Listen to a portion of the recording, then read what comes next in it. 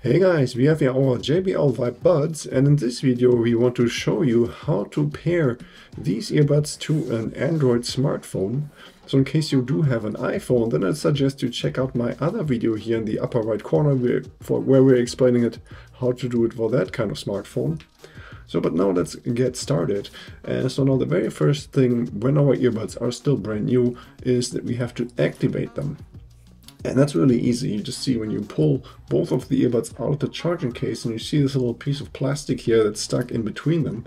This is just covering the uh, two uh, charging points on the back side of the earbuds. And we're just going to pull that piece of plastic off. We're going to throw that away. We're not going to use that anymore. And then to, in order to activate them, we just place both earbuds back into the charging case just for a second. And then we should see here at the front of the of the uh, charging case that this LED lights up just for a few seconds. And this means now the earbuds are activated. So now we can start pairing them to our smartphone. In order to do that, we're just going to pull both earbuds out of the charging case again.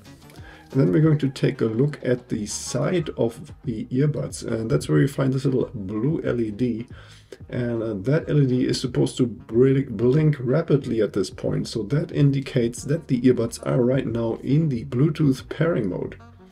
If this is not the case for you then we have to uh, manually bring them into the pairing mode and we do this by double tapping on one of uh, on the side of one of the earbuds.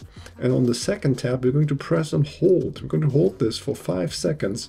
And that will then activate the bluetooth pairing mode and now let's switch to our Android phone. And in case you do have a newer model of phone that supports the Google Fast Pairing, then there's going to be automatically a pop-up coming up that provides this little information about the JBL Vibe Buds. And all we have to do is just accept to pair them. And so there's a couple of different steps that you can do afterwards. Uh, but you can actually uh, skip all those steps if you wanted to. And then we have already completed the pairing process and we can also see a little bit of information here. So we can use these earbuds for phone calls as well we, to just listen to music or um, just general audio. And we can also see here the battery percentage of the earbuds at this point. So right now the batteries are full, they're at 100%.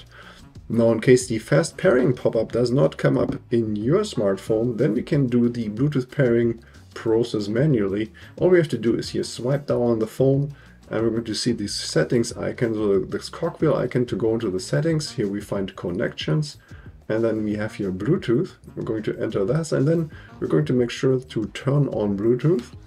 And then the phone is going to search for all kinds of Bluetooth devices in our vicinity. And you're going to see the JBL Vibe beam in there. And all we have to do then is select them and that will also pair our Bluetooth earbuds. Now once we are done using the earbuds in order to turn them off, all we have to do is place them back into the charging case. So this will recharge the batteries and once the batteries are full, charging process will be stopped and uh, we can still leave them in there. So now the uh, earbuds are going to be disconnected from our smartphone. You see this here, now it's not connected anymore. And the next time we want to use our earbuds again, all we have to do is pull them out of the charging case and they're going to turn on automatically and also they're going to reconnect uh, really quickly to our smartphone. We can see this here within like a second. They're now reconnected to our smartphone and they're ready to be used. We don't have to go through this pairing process anymore. So at this point now, as long as your smartphone still has Bluetooth enabled, they are ready to be used immediately. Okay, so this was already it for this video. Hope you found the information helpful. And if you have any more questions or comments, then please leave a message below.